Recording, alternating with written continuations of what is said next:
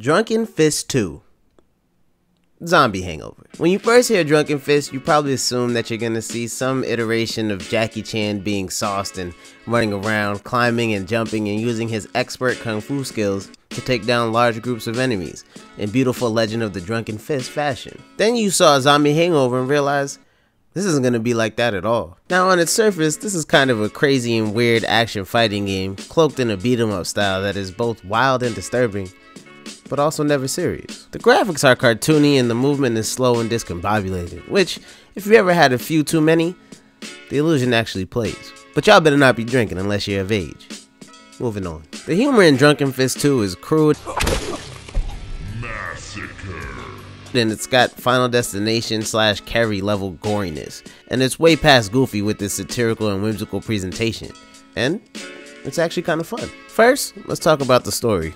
A drunk rocker passes out after a week binge, wakes up, and boom, zombie apocalypse. He realizes that there are zombies around and that everything's abandoned and goes on to perform the only logical thing in this situation, which is, of course, to drink more. Not to find family, not to find friends, colleagues, your girl, not to find your pets, it's to drink more. Yeah, that that's it. That's the story. Now, as far as skill trees and upgrades, there aren't any. Which brings me to the gameplay. Now I know some of y'all are like, yo Yonko, why would I even play this? There's no story, there's no skill tree, there's no upgrades, it's not open world. This ain't the 80s and 90s, what's the point? And to which I would say, the point is, Sometimes there's beauty in simplicity. The whole game of Zombie Fist 2 Drunken Hangover takes place in probably what would be a few hours in the day or morning of the character waking up. In other words, it's daytime when the game starts and it's daytime when the game ends.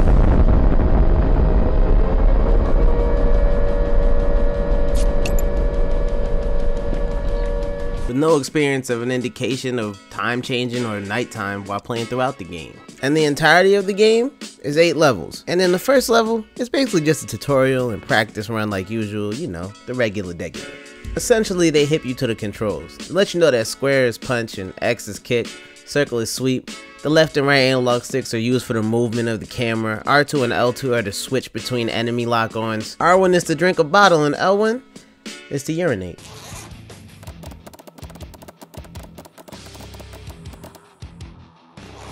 Now, of course, with the premise of the game, it's only right that you have access to bottles and urination, and these do go hand in hand. And as the levels go on, you realize that there isn't too much to the level's design. It's pretty linear. There isn't much exploration, but there doesn't need to be. In classic beat 'em up style fashion, there's just groups of enemies you're gonna have to beat to get to the next level. As stated earlier, level 1 is really just a tutorial level.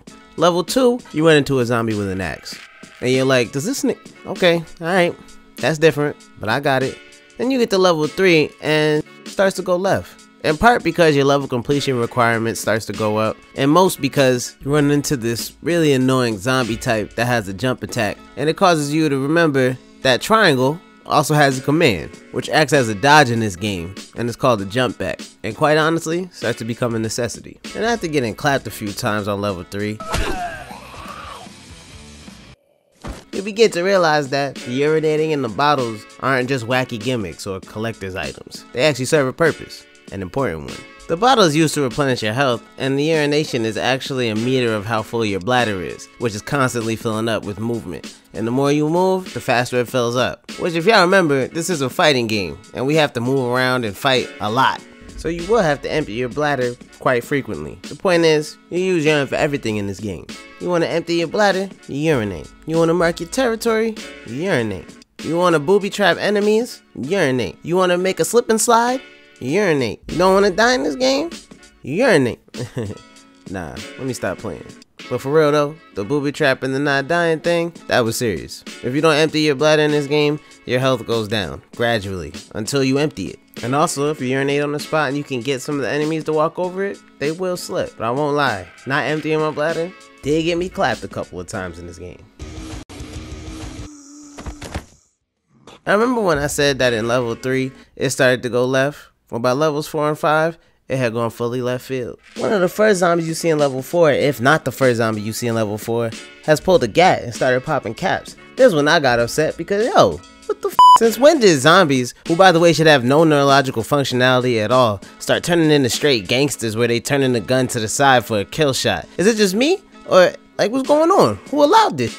Anyways, getting back to the levels, between levels 5 and 6, there was a hazmat zombie that now started to spit up acid. These zombies were acting as the ward off slash protection zombies. But of course, here's the kicker y'all, it's not as though the new zombie types took the place of other zombies. Now, it had just became a combination of all these zombie types and they were mixed in different sections of the level and started to build a crazy zombie dream team.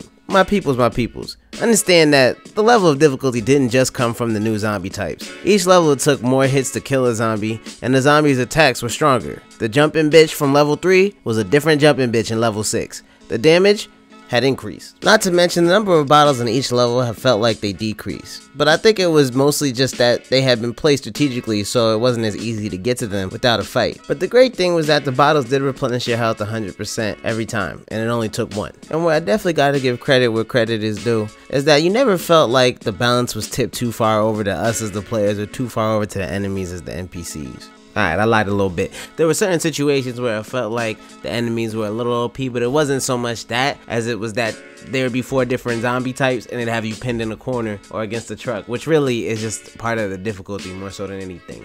But still, that was some. Which brings me to the ridiculous levels of 7 and 8. At this point, it had gone so far left that it was out of bounds. Disrespectful, if you will. Out of pocket, whatever you want to call it. Because in level 7, they introduced this new damn commando type zombie that had a freaking AK. And by level 8, there was a bunch of these with AKs. And of course, at that point, I was like, but why? Who told y'all this was okay? Pissing me off. Anyways, the point is, I enjoyed Drunken Fist 2 Zombie Hangover. As far as the combos go, they felt a little makeshift, although it did feel like in a couple of instances that there were some strings where the combos were actually quite fluid.